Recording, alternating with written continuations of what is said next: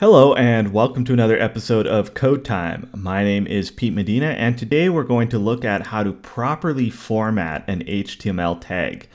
So in the last video you wrote some HTML using the h1 and paragraph tags. I have that file open right here.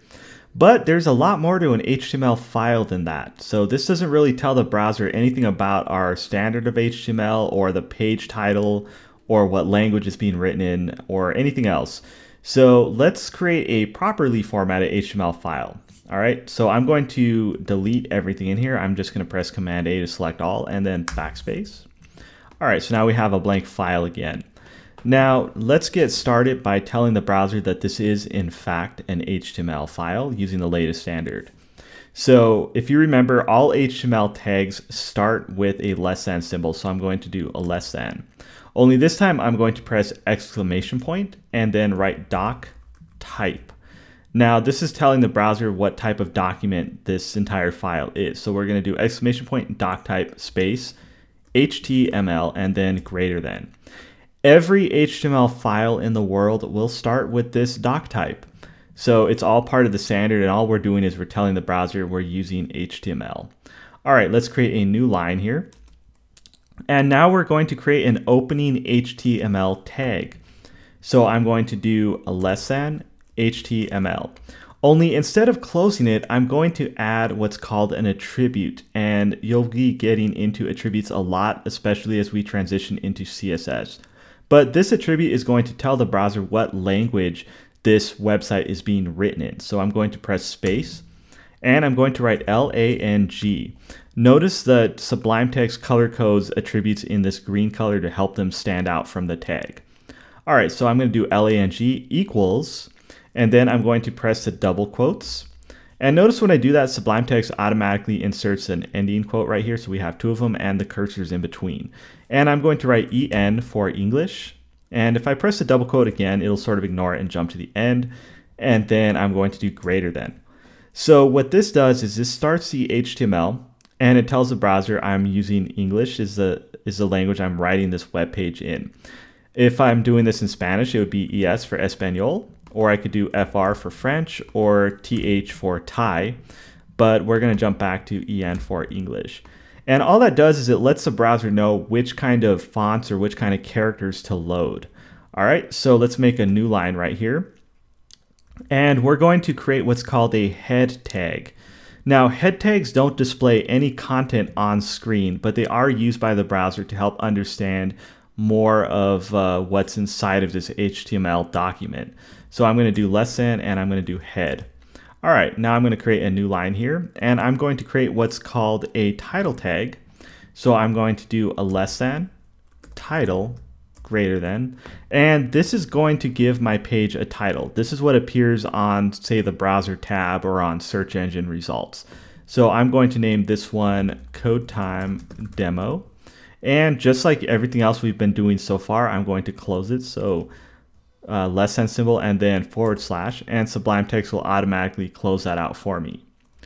All right, so, so far we have our doc type. We're telling the browser this is HTML we have our opening HTML tag that's telling the browser this is the start of all of the HTML and it's being written in English. Now we have our head, which is starting to uh, create this uh, collection of information for the browser. And the first thing we do is we're telling it the title of our page here is Code Time Demo. But now we need to tell it which sort of fonts to load or which kind of character sets to load. And that's a little bit different than the language attribute, and you'll see right now. So I'm going to create a new tag called a meta tag. So I'm going to do lesson meta. And then I'm going to do char set. This is our character set. It's telling it what, uh, what font standard to load. And it's going to be equals uppercase UTF 8. That's the dominant character standard on the web. And we're going to do another uh, quote here and then close that out. So all we're doing is now we're telling it load this font standard. It's very technical, but it lets the computer create this unified set of characters across browsers and devices. All right, so let's go ahead and close off this head now. And we're going to create a new tag called the body tag. All right, so the head is invisible to us when we're viewing a web page. It's just used by the browser, but the body tag is the meat of the website. It's where the body of our content lives. So let's do body and put that little uh, greater than symbol here. And let's put our hello world message back. So I'm going to do less than h1. All right, I'm going to create a new line here and I'm going to write hello world and then a new line and close it out. And notice the Sublime text automatically indented it back. And let's create a paragraph and do the same thing, new line, and put I'm writing some HTML. So fun. All right, and let's close that off. And now let's close off our body tag. So I'm going to create a new line here and I'm going to do forward slash. And now let's close off our HTML tag. Same thing, only this time we have to backtrack it one. All right, so this, let's see, let's save it. And this is a properly formatted HTML document. And let's walk through everything again just for uh, extra clarity here.